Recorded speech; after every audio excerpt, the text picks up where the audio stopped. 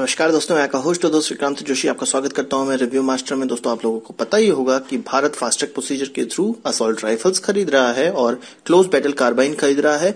L one जो company रही है, उनका नाम और उनके राइफल या कार्बाइन का मॉडल भी सामने आ चुका है। आप सभी लोग जानते होंगे, खबरों में मैंने आपको बता दिया है। तो जो असोल्ट राइफल है, वो तिहत्तर हज़ार हम खरीदना चाहते हैं, जिसके लिए जिक्सौर कंपनी के राइफल को चुना गया है। जबकि चौरानबे हज़ार कार्बाइन खरीदने के लिए कराकल के सी ए आर 816 को चुना गया है। इसी कराकल के बारे में इस वीडियो में हम लोग जानेंगे, कार्बाइन असोल्ट राइफल से क्यों अलग होती है, कराकल को ही क्यों चुना गया, और कराकल के बारे में थोड़ी सी जानकारी हम इस वीडियो में लेने की कोशिश करेंगे। तो चलिए जान लेते हैं। सबसे पहले बात करेंगे असोल्ट राइफल और कार्बाइन में अंतर क्या है? सबसे बेसिक अंतर के बारे में आपको बताऊँ तो असोल्ट राइफल की जो बैरल होती है वो लंबी होती है और कार्बाइन की जो बैरल होती है वो छोटी होती है। एक ही मॉडल की कार्बाइन भी हो सकती है और असोल्ट राइफल भी हो सकती है। जिस तरह हम कराकल के C A R eight one six के केस में देख सकते हैं, उसकी असोल्ट राइफल भी है और उसी की कार्बाइन भी है। इसके अलावा असोल्ट राइफल और कार्बाइन में रेंज का अंतर होता है और उस रेंज में जो लक्ष्य को सटीकता से भेदने का भी अंतर होता है। हालाँकि लंबी बैरल होने पे इसको असोल्ट राइफल कहा जाता है। बसरते कंपनी ने उसका नाम कार्बाइन न रखा हो।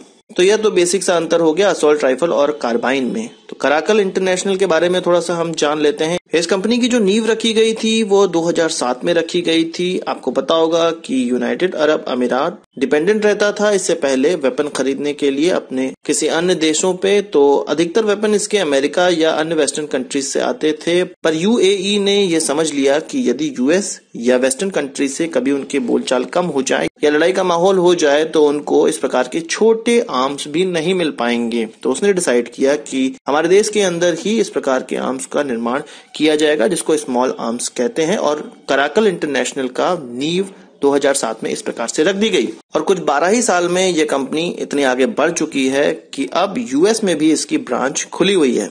इस कंपनी का जो हेडक्वार्टर है, वो अबू धाबी में है, और अभी तक इसके तीन असोल्ट राइफल या कार्बाइन का मॉडल सामने आ चुका है।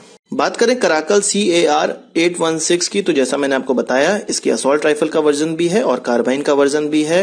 इस असोल्ट राइफल या कार्बाइन को 2013 में डिफेंस ऑफिशियल्स के सामने रखा गया था और जनरल पब्लिक के लिए इसको 2015 में सामने रखा गया। यह एक गैस ऑपरेटेड वेपन है, जिसमें अम्यूनिशन का इस्तेमाल किया जाता है 5.56 point five six into four five M M का।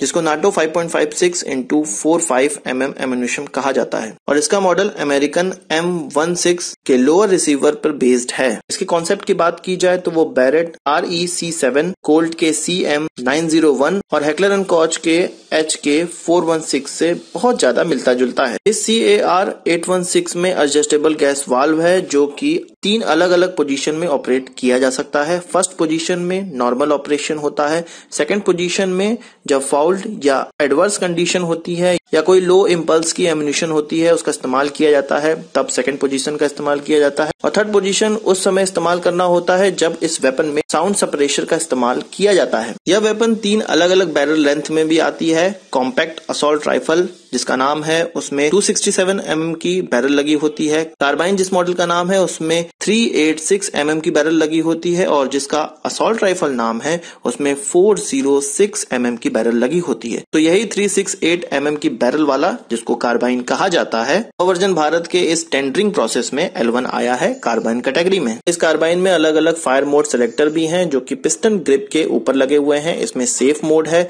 सेमी ऑटो है और फुली ऑटो है। जैसा कि हम लोग बहुत से राइफलों में या कार्बाइन में देखते हैं। इसमें केवल सेमी ऑटोमेटिक वर्जन वाला वेपन भी बनता है, जो कि लॉ इन्फोर्समेंट फोर्सेस को दिया जाता है। इसमें जो मैगजीन का इस्तेमाल किया जाता है, वो 30 राउंड की मैगजीन होती है एल्यूमिनियम मैगजीन होती है, और वो जो नाटो की एम वन सिक्स टाइप की राइफल में लगने वाली मैगजीन होती है उसी से समतुल्य होती है। इसके लेंथ की बात की जाए तो दो प्रकार की लेंथ होती है स्टॉक एक्सटेंडेड और stock collapsed stock extended length की बात की जाए तो 922 mm है और स्टॉक कोलेप्स्ड की बात की जाए तो 838 mm है। बैरल की लेंथ तीन अलग अलग लेंथ मैंने आपको बता दी। जो इसकी मजल वेलोसिटी है वो 850 किलोमीटर प्रति सेकंड है। साइक्लिक रेट ऑफ़ फायर है 650 से 950 आरपीएम और प्रैक्टिकल रेट ऑफ़ फायर है 400 से 100 आरपीएम तक। और इसके जो इफ़ेक्टिव रेंज ऑफ़ फायर है, वो लगभग 500 मीटर के है। अब बात कर लेते हैं कि इस राइफल को क्यों चुना गया। तो अभी ये डिस्क्लोज नहीं हुआ है कि इस कार्बाइन के अलावा अन्य कंपनियों की कौन कौन सी कार्बाइन कंपटीशन में थी। पर भारत सरकार कोई भी डिफेंस इक्विपमेंट जब खरीदती है तो उसमें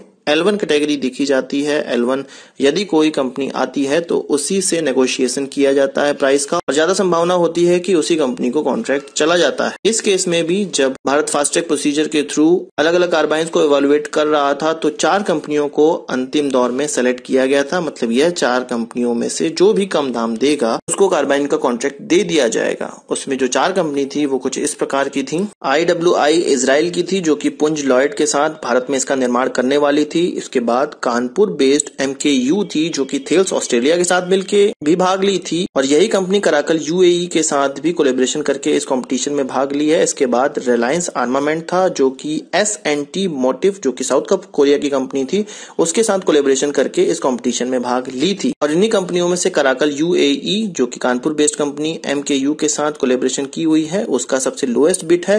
तीन महीने के बाद यह पूरी संभावना जताई जा रही है कि इसी कंपनी को कॉन्ट्रैक्ट दे दिया जाएगा क्योंकि L1 की जो क्राइटेरिया होता है, वो सबसे ज़्यादा महत्वपूर्ण होता है किसी भी प्रोडक्ट को खरीदने में, यदि वो सरकारी प्रोडक्ट खरीदा जा रहा है। तो कुछ कार्बाइन कराकल के यूएई फैसिलिटी द्वारा ही बनाकर भेजी जाएँगी और बहुत सी ऐसी कार्बाइंस होंगी जो कि कानपुर बेस्ड कंपनी एम में बनेंगी। तो ये था कराकल सी ए आर 816 की पूरी डिटेल। आशा करता हूँ आपको वीडियो पसंद आया और आप इसको एक बड़ा थम्स ज़रूर देंगे। इस वीडियो संबंधित कोई सवाल सुझाव तो कमेंट बॉक्स में ज़रूर लाइएगा और यदि आपने हमारे चैनल पर सब्सक्राइब नहीं किया, उसे भी कर लीजिए क्योंकि हम इस प्रकार की वीडियो लाते रहते हैं। और यदि आप डिफेंस और स्पेस न्यूज़ पढ़ने के शौकीन है तो आप हमारी वेबसाइट कैप्टन पे भी लॉग कर सकते हैं।